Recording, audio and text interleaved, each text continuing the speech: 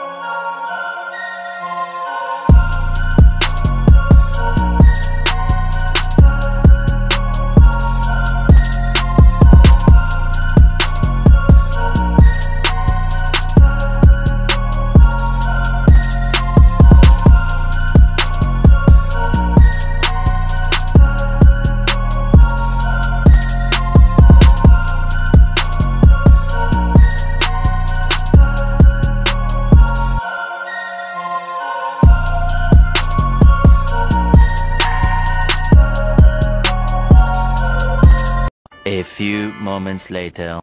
Oke teman-teman, ini udah di lokasi. Tinggal kita langsung review aja. Ini persawahan bro. Enaknya di persawahan ataupun di pegunungan ya. Kalau review-review kayak gini, pemandangannya bagus banget. Kita review mulai dari kaki-kaki terlebih dahulu. Untuk peleknya teman saya pakai merek TDR depan belakang. Untuk ukuran depan dia pakai 140, yang belakang itu 160 ring 17. Untuk bagian jari-jarinya depan TDR, belakangnya biasa ya Nah ini tak cantumin deh merek dan harganya. Terus untuk ban ya Dia yang belakang pakai FDR Terus ukurannya sendiri pakai 70 per 80 Yang depan itu sekitar Ukurannya berapa? Nah ini dia 60 per 90 FDR juga Tipenya Spartak ya Yang belakang pakai Genji Yang depan pakai Spartak FDR Terus untuk tromolnya sendiri Dia pakai merek biasa ya Scarlett. Yang depan dia pakai tromol bling bling sekitar harga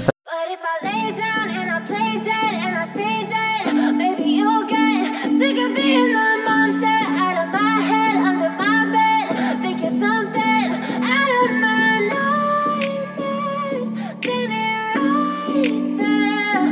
But if I lay down and I play dead and I stay dead, then what you'll get both of killing me. Silhouettes feel like a taunt Never really know just what you want With you I don't ever feel calm.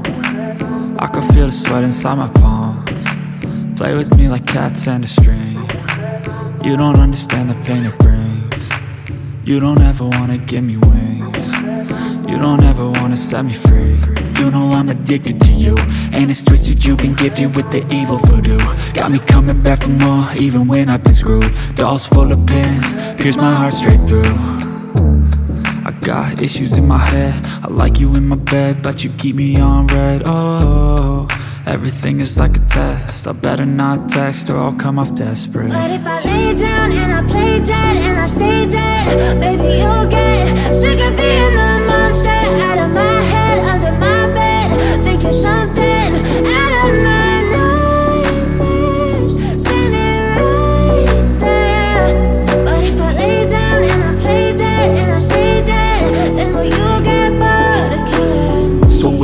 dead, will you regret everything that you did, that you said? I don't think you understand what you're doing And my heart's black and blue from the bruising I feel like when I'm with you I'm losing I feel like You think that this amusing Sitting there gaslighting and confusing Was it me? Is it me? Am I deluded? I'm the one who's always sorry, the conclusion. Even though I offer all of the solutions I wish you loved me like I love you, it's stupid. When I'm alone with you, I never feel lucid. I wish I wasn't struck by Cupid. I wish when I first saw you, I knew this. When I'm with you, I feel so useless. I feel diluted, my heart's been wounded. Silhouettes of you are like a taunt. Never really know just what you want With you I don't ever feel calm. I can feel the sweat inside my palm. Play with me like cats and a string. You don't understand the pain it brings. Variasi seperti ini harganya sekitar kalau nggak salah nih bro 25 sampai 30 ribuan. Modelnya seperti ini bro. Oke jadi untuk bagian kaki-kaki seperti itu kurang lebihnya. Nah untuk bagian cat teman saya menghabiskan semuanya ya total ini cat body tangki terus rangka sama ini bagian mesin bak kopling semuanya total sekitar satu jutaan bro. Semuanya pokoknya jadi tinggal jadi beres lah pokoknya sekitar satu jutaan. Kemarin saya tanya satu jutaan bro habisnya. Nah hasilnya seperti ini. Ya bagus lah bro. Mantap. Ini untuk bagian body ya. Terus bagian depan nih bro ini dia pakai visor variasi ataupun yang NPA kalau nggak salah. Beli second 40.000 kalau baru 70.000 kayaknya. Itu bagian lampu dalam bolham. Dia sudah pakai yang model variasi ya yang putih. Harganya sekitar 70 ribuan. Terus untuk setangnya sendiri teman saya pakai merek yang biasa yang penting enak dipakai ya kuat. Harganya sekitar 150 nih ada mereknya Goyo. Untuk hand gripnya dia sudah ganti seperti ini sekitar harga 30 ribuan lah yang biasa. Ya terus apa lagi uh, oh iya nih dalam. Di dalamnya sudah open filter. Untuk saringan ataupun filter udaranya dia pakai yang biasa harganya sekitar 30.000 yang biasa ya bro.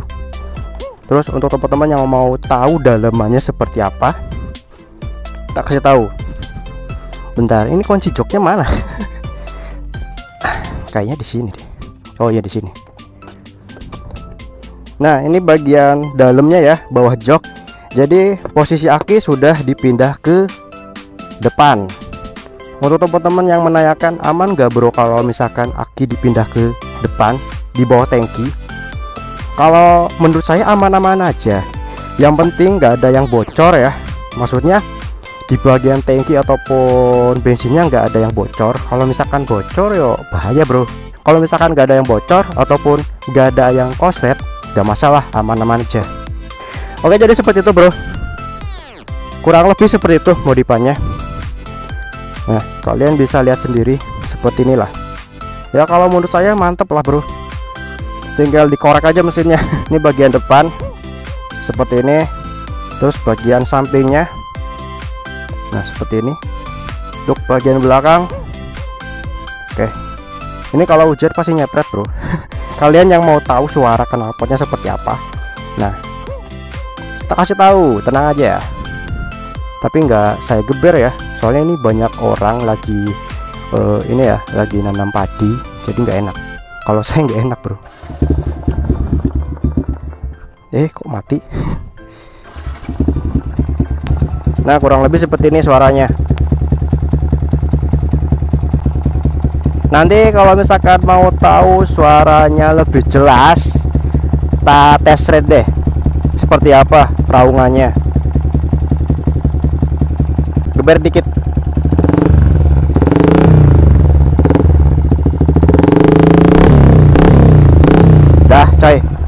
oke kita langsung tes red aja.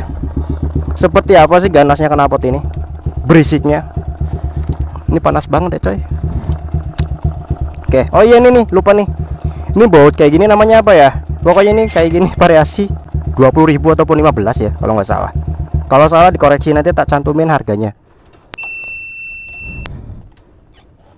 Oke, kita langsung tes rate aja, Bro.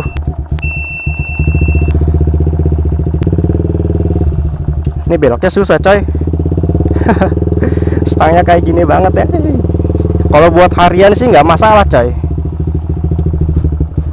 Kalau untuk touring loh, kalau yang biasa ya mungkin nggak pegel ya, pasti pegel lah, nggak mungkin nggak pegel. Kalau ini buat harian di desa ataupun jarak dekat lah. Kalau untuk jarak jauh nggak rekomen banget kayak gini. Kalau teman-teman mau pakai buat jarak jauh, saya sarankan jangan pakai stang jepit kayak gini ya. Ataupun kalau misalkan kalian mau pakai stang jepit kayak gini, posisinya jangan dulu kayak gini, ya agak ke atas lah. Terus untuk bagian roda, eh, saya sarankan pakai yang 80 per 80 ban belakang. Untuk bagian depan kalian pakai 70 per 80. Jadi masih inilah masih ada toleransi. Kita tes.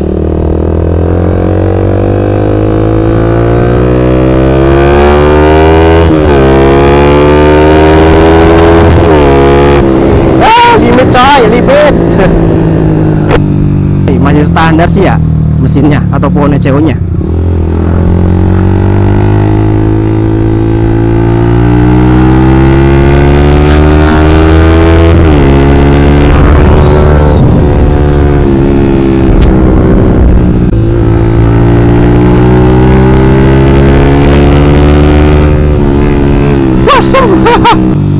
Kelihatannya bagus bro jalannya, tapi kayak gitu banyak gelombang, nggak berani lah. Ya pokoknya kurang lebih suaranya seperti itu ya knalpotnya. Oke bro, jadi cukup sebegini aja. Kalau misalkan teman-teman mau bertanya ikutan video ini, monggo komen aja. Nanti kalau misalkan saya bisa jawab, saya akan jawab. Sampai jumpa di video saya selanjutnya.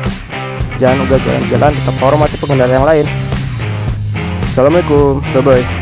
Mau ngopi dulu coy.